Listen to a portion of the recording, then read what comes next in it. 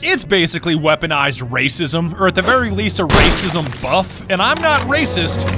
but I-